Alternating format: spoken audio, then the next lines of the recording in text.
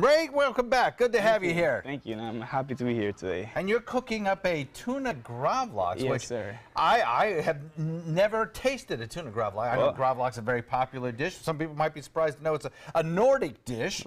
But uh, here we're going to uh, kind of take it into the, uh, uh, is it Pacific uh, tuna? It, uh, he, uh, well, Zahi tuna it is Pacific tuna, Okay, and so- uh, it's really rare to see tuna gravlax. People usually make salmon, but we decided to take the next step and. Sounds like it would be great. Yes, it would be Absolutely great. Yeah. So we're gonna do here to cure. It's really e- easy and simple to do at home. We're gonna use about one quarter of a cup of uh, salt and uh, about a quarter of a cup of sugar. and those are two of the main ingredients Yeah, in main ingredients. right? Yes, you sir. got to do sugar that. and salt. We got uh, the zest of one lemon, Oh, that's kind of different. and we got some freshly ground black pepper. Nice. And we're gonna just mix it in here really good. Mm, And we're just gonna coat the tuna really good. You gotta pat it, put it everywhere, make sure you get a lot of it. You think it's gonna be salty, but it needs salt. So this differs a little bit, it looks like, though you may surprise me later on, a little bit from the classic gravlax in that you're not going to be using dill in this recipe. no, I'm not using dill in this recipe. It's a whole different. Uh, we're using uh, lemon zest, and it just gives it a really nice scent. Yeah, I love that Really idea. good. Yeah, that sounds great. Put this right over here, and you're gonna have to have some plastic wrap to uh, wrap it in. Mm-hmm. Here's what we're gonna do right here. You just gotta wrap it as tight as you can. Make it really nice and tight. It's really easy and simple. It's a little messy too.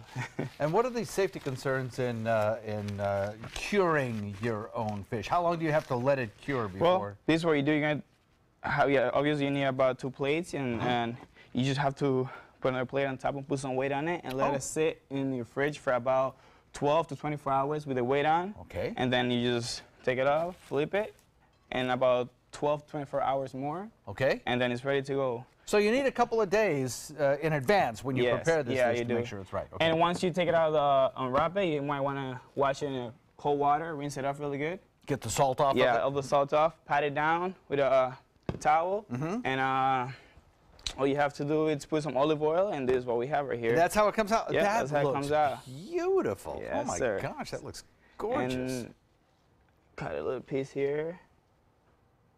Oh yeah, it's beautiful. And how would See you how nice? normally serve the gravlax? Well, this is how we're gonna serve it today. yes. We have this uh, salad right here. I'm gonna use the same bowl right here because I think I forgot to bring the other one. Uh, And, clean, uh, clean as you go, right? yeah, That's what I, I believe Otherwise, it's in gonna be salty. uh, we got some nice vegetables here. Okay. We got some uh, tomatoes. This is green papaya. A little bit here. Really neat. Fennel. Nice Huh. fennel. And we got a little bit of radish Nice. and cilantro. And this this time we're using a little bit of vinaigrette we made. It's uh, miso vinaigrette. You have the recipe. On our And- website. Yeah, on the website is the recipe. And just, you don't want to put too much of this vinaigrette because it's a little strong. So it might overpower the tuna. Mm-hmm. So just don't put too much of it. Just a little, a little bit is enough. And it looks like, uh, I'm And- guessing you have a little kind of a Dijon Yeah. over there or something? We have What is that? um, anchovy aioli. oh, It's really good. It goes really good with the tuna. Oh, Yeah. man, this sounds fantastic. There you go. That's what we're going to do here.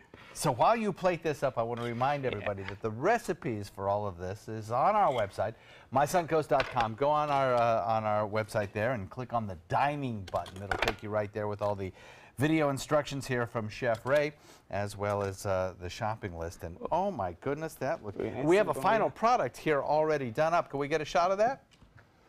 And uh, we'll show you exactly what it looks like. It's absolutely beautiful. No? Okay, well, there we go.